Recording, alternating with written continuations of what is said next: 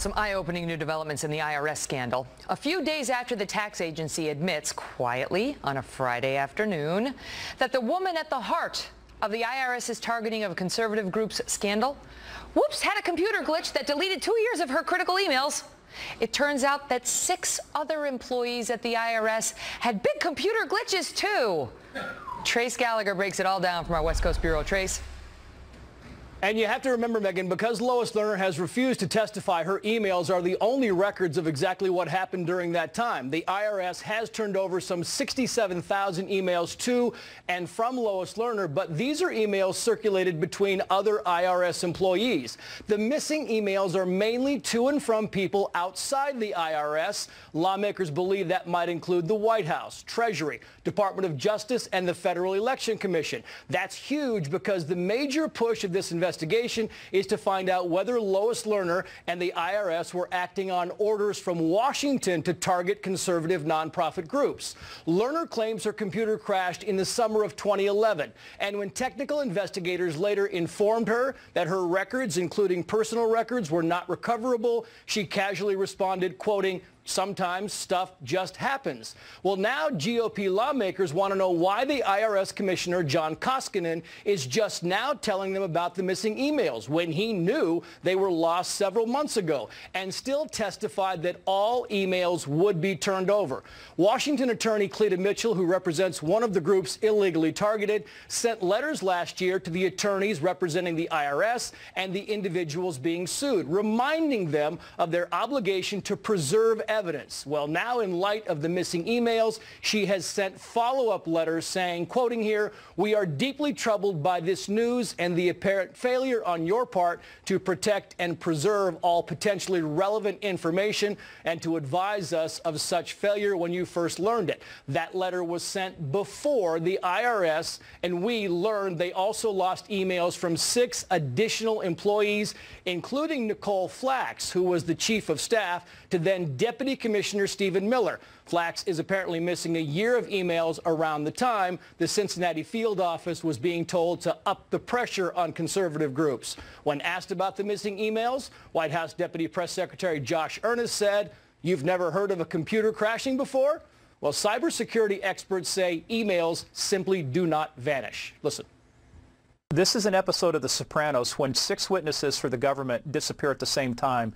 That's more than a coincidence. When six sets of emails disappear at the same time, it's not a coincidence anymore. It's a conspiracy. And Megyn, the IRS commissioner is back before Congress on Friday and again next week. Megyn. We'll be watching that. Trace, thank you. Earlier tonight, I sat down exclusively with attorney Cleta Mitchell. She represents Tea Party groups targeted by the IRS, and she is not happy. Cleta, good to see you. And so now we know that it's not just Lois Lerner whose emails have gone missing, but those of six other key IRS employees. You believe this was a cover-up. Tell us why.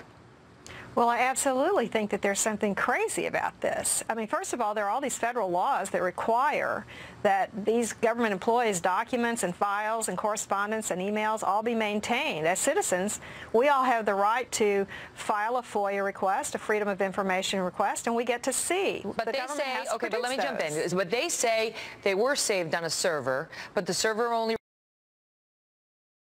emails for six months, and then it would write over the tapes.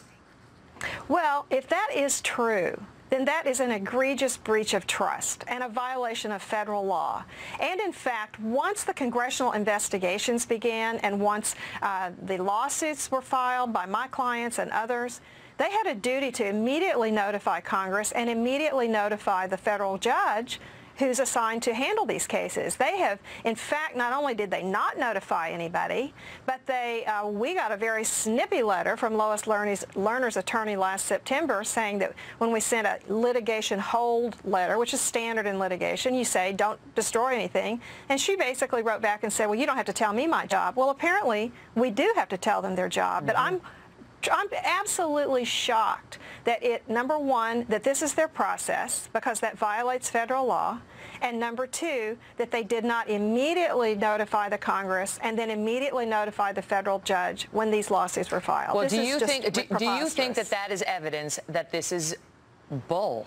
That, I mean, because what I'm hearing from other lawyers who are representing other victims and from uh, those who are on the House of Ways and Means Committee who are outraged over this is they don't believe it. They don't believe that that server overwrites itself every six months. They think that this is all a big excuse, especially now that we've heard it's not just Lois Lerner, but conveniently it's six other people whose emails cannot be produced.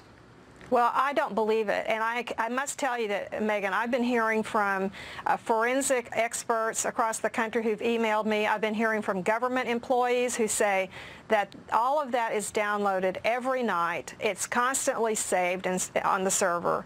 And for them to now say, oh, we only keep it for six months, let me tell you this. I had a client a few years ago. The IRS was going to revoke its tax exempt status because they deleted their emails at the end of the calendar year. And the only way we were able to persuade them not to was to agree that we would stop doing that. The thing so is, now Cleta, the IRS they, does it? They would have us believe that if you work at the IRS and you email somebody and then six months pass, that's it. It's irretrievable. If you happen to have a hard drive crash and it's not available on your desktop, top, no email that predates six months, you know, prior would be retrievable. That's insane. What? How it's could the. IRS ever do business like that?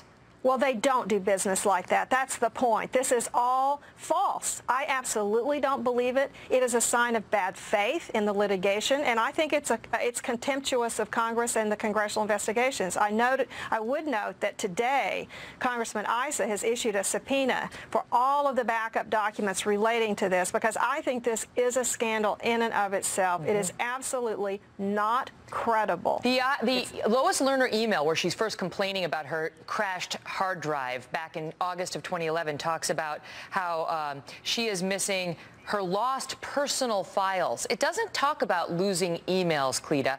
Do you think that they are trying to sell us a pig in a poke here? You know what I mean? Saying, oh, look over here. She talked about lost personal files. Oh, I'm telling you, that means all of her emails. Oh, and by, by the way, it also means all the personal emails from six other IRS employees. That was one hell of a computer glitch. Let me tell you something. I think the person we all need to be looking at right now is the director of the FBI.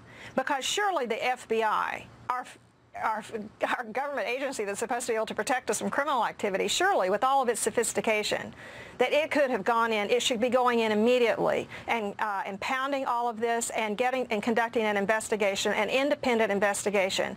But failing that, I, what we're going to ask the court for is permission to bring in our own independent forensics experts to have access to these right, computers because let me and ask you drives. This, because right now it appears that the, the, reason they're not producing these documents is because they say, oh, back when Lois looked for the documents in 2011, the IT department said they couldn't retrieve them. There's been no satisfaction, has there, that There's an actual none. independent expert has come in and said, I'm telling you, they're irretrievable.